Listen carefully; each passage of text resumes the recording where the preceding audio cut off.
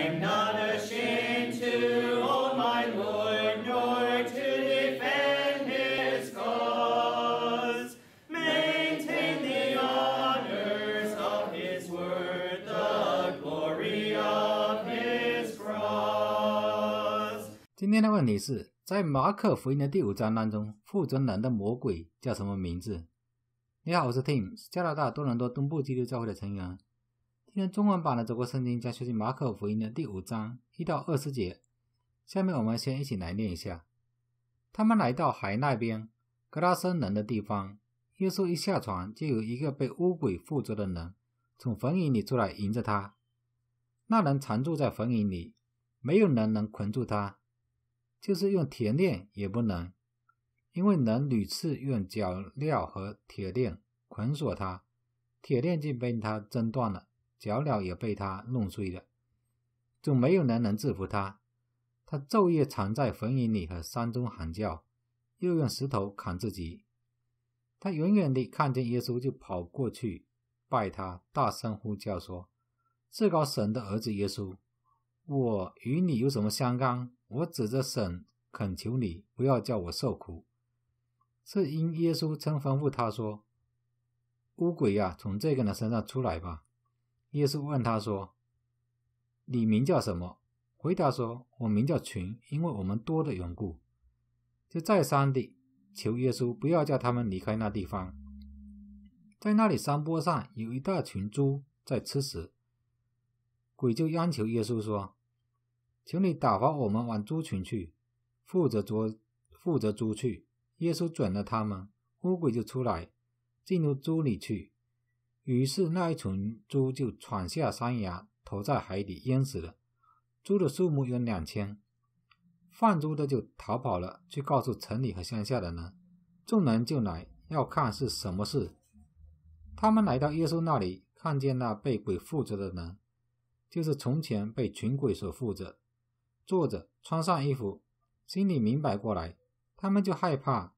看见这事的，便将鬼附之人所遇见的和那群猪的事都告诉众人。众人就要就央求耶稣离开他们的境界。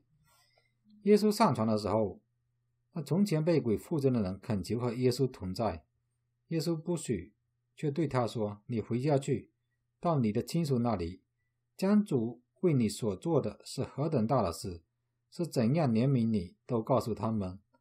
那人就走了，在低加坡，低加坡里传扬耶稣为他做了何等大的事，众人就都稀奇。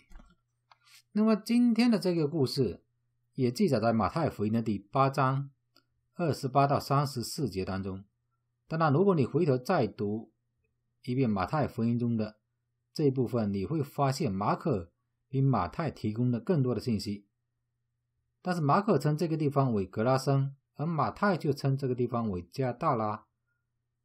对于某一些人来说，这似乎是一种矛盾，但是如果你进行进进一步的调查，其实事实并非如此的。加大拉是一座离加利利海不远的城市，格拉森距加拿大大约是东南十九公里的。其实耶稣是进入了这两个城市所在的地区。因此，并不存在什么矛盾。那么，在他的旅途当中，耶稣经过一个墓地，有一个被恶魔附着的人就走进耶稣。那么，现在马可的描述也使一些人指出马可与马太有矛盾，因为马可只说有一个人，而马太说有两个。但是问题是，马可是说只有一个人吗？不是的。他说他被一个人接近，但没有说是只有一个人。那么从这个叙述当中，我们发现马可是专注于被恶魔所负责的那个人。当然，我们后面会知道他名叫为群，而马太则没有提到这个事实。马太只是简单的说这些人非常凶猛。马可所强调的一个人，比另外一个人更加引人注目，而马太却没有。如果马可说，只有一个人接近耶稣，那么这就会产生矛盾。但是因为马可是只专注一个人，所以没有提到第二个人，并不是一种矛盾，而是他们叙述方式的不同。恶魔使这一个人他过了非常悲惨的生活，当那个人看见耶稣时，就跑过去敬拜他，喊道：“至高神的儿子耶稣，我与你有什么相干？我指着神恳求你，不要叫我受苦。”耶稣并没有向这个人表明过自己的身份，但是负责他的恶魔他知道了耶稣是谁及神的儿子。在雅各书第二章十九节当中，清楚地表明，耶稣是魔鬼是也相信耶稣的。他们在耶稣面前战斗，但是由于他们缺乏顺服，才是为什么他们会抛入地狱的原因。当然，令我惊讶的是，这些恶魔、邪恶的灵性生物都能够承认耶稣是上帝，并且崇拜他。但有些人自称是基督徒，就否认了关于耶稣是神的这个事实。如果那些承认为耶稣、承认耶稣为上帝的恶魔都要陷入地狱，那么那一些拒绝。接受耶稣为上帝的人呢？他们的命运会有所不同吗？当然，我觉得是不会的。之后，这个恶魔就恳求耶稣，不要叫他们受苦。这个是什么意思呢？好吧，在彼得后书的第二章第四节和犹大书第六节告诉我们，在审判日，犯罪的天使将与其他邪恶的人一同被抛入地狱。地狱是一个永远要折磨的地方，因此。这些恶魔很可能只是问耶稣是否会在那时和那里将他们抛入地狱。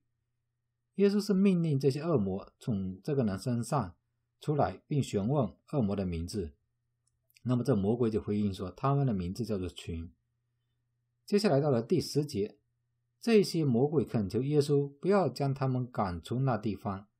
那么从这句话当中，我们可以推断出这些恶魔在问的是，耶稣没有将他们。直接送入地狱而接受永恒的惩罚，这是在审判日之后的，而是允许他们留在那个地方。他们要求耶稣允许他们进入猪猪群，那么大约是有两千只左右，耶稣就允许了。所以魔鬼就离开了那个人，进入了猪群之后，猪群就冲进海里淹死了。那么现在你可能就会问了：耶稣为什么允许魔鬼去拥有这一群的猪呢？因为这样子做，他就使养猪的人要付出的许多的代价。其实，在当时，猪是不洁净的，也不适合犹太人吃。利莫记的第十一章七到八节说，他们甚至不可以去碰死去的这些尸体。因此，养这这些人，他为什么要去养猪呢？耶稣在允许魔鬼进入猪的过程当中，他解决了两个问题：一个是那恶魔所负责的人。过上了正常的生活。第二个是摆脱了这些犹太人本不该做的事。那么放猪的人就看到所发生的这一切事情，就去告诉了众人。他们对发生的事情感到很好奇，就都来了。看见耶稣坐在那曾被恶魔附着的人旁边。现在要注意的是，这个人的举止，以前他是一个野蛮的人，是一个无法被束缚的人。现在他已经不被恶魔所附着。行为很正常，那么看到这个呢是完全正常的，并看到在猪的身上发生了什么，人们就感到害怕，就要求耶稣要离开。那么在离开之前，我们也得到了一个在马太福音当中没有提到的故事，就是说这个人他想和耶稣在一起，大概是要想作为一个纯子的门徒，耶稣却不允许。为什么呢？因为耶稣需要这个人回去告诉他的亲属和其他人。在他身上发生了什么事情？